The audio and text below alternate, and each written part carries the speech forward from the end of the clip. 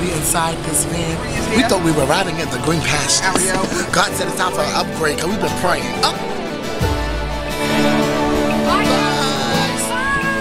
Pray for us.